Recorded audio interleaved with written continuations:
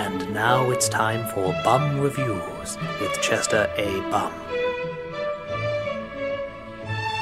Tonight's review Teenage Mutant Ninja Turtles Out of the Shadows.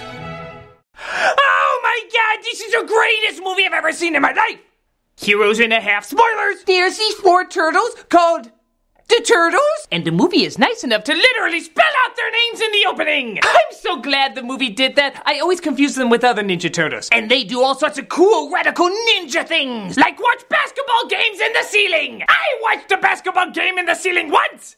The Hornets have very good lawyers, but they're upset because they see that Bojack Vermin is taking all their credit. Dude, how can those people believe that he took down the Shredder? I know, crazy, right? No, really, how could they believe that Will Arnett defeats a robotic Shreddinator? Like, even for a movie made for five-year-olds, even the five-year-olds wouldn't be able to buy that. But they will be able to buy crushed soda, Nike shoes, and Apple products. Apparently the only things that exist in New York. No, seriously, look for Coke, Reebok, or PC. They don't exist! Maybe Shredder's plan was to get rid of competitive marketing. Speaking of Shredder, he's in cahoots with a scientist named Blackster Stockman, and he's trying to get Shredder out of jail! Or at least I think it's the Shredder, because this Shredder does not look like that shadowy guy from the first one. That guy looked like an angry eggplant. This guy looks like an actor who's not trying. And speaking of not trying, Megan Fox runs into an ex-detective named Casey Jones, and she's like, Who are you? I'm you. What? I thought Casey Jones was supposed to be a rough badass. He is, but they just cast a straight arrow instead. Then why do you say you're like me? Because I am. I'm good-looking eye candy. I have a dream I can't quite reach. I want people to take me seriously, even though they don't. I'm pretty much just your character with a penis, and I'm actually trying. Hey, I'm trying. yes, you know how they hang a flag at half mast? That's your performance right now. Hey, I'm a very serious, credible actress. Now let me slip into my Catholic Girl uniform to get some information. Wait, you only need a few seconds. Couldn't you just bump into that guy? School uniform. I mean, you could pretend you were someone else or pretend you're someone else like you did with Blackster Stackman. School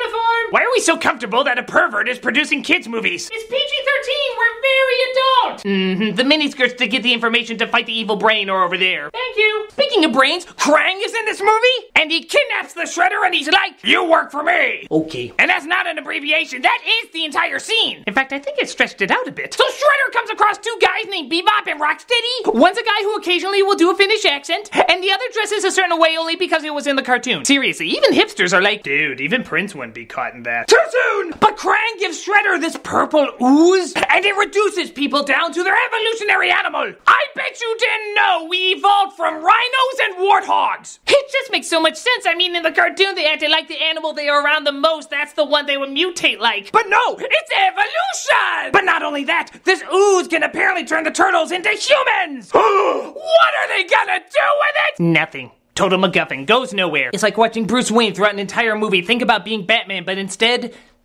he makes pies. But it's okay because Donatello with the purple stuff can track Bebop and Rocksteady wherever they are in the world? Really? Seriously, guys, I'm high as a kite and you're making the cartoon look credible. So they try to stop them, but they fail. All because Leo couldn't keep the family together. Because if there's one constant in all the incarnations of Ninja Turtles, it's that Leonardo is always a horrible leader. How times does he have to be told what a good leader is by someone who's a much better leader? Why doesn't that person lead? Speaking of leading, Krang is about to take over the world! And Shredder is like, I trusted you. I thought we were gonna be partners. Dude, I'm a talking clitoris with pinkies. We've only known each other a few seconds. Why would you trust me? I don't know. Obvious moral about family.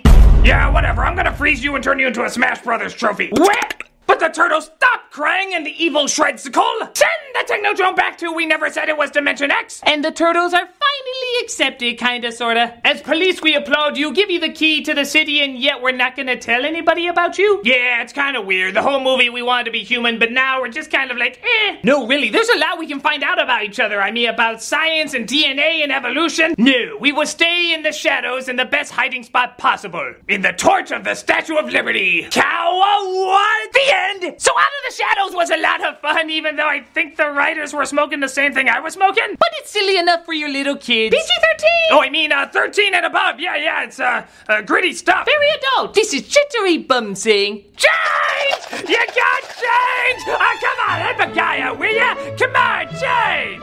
Come on, I'll get Tyler Perry in the sequel! Madea, The Secret of the Ooze.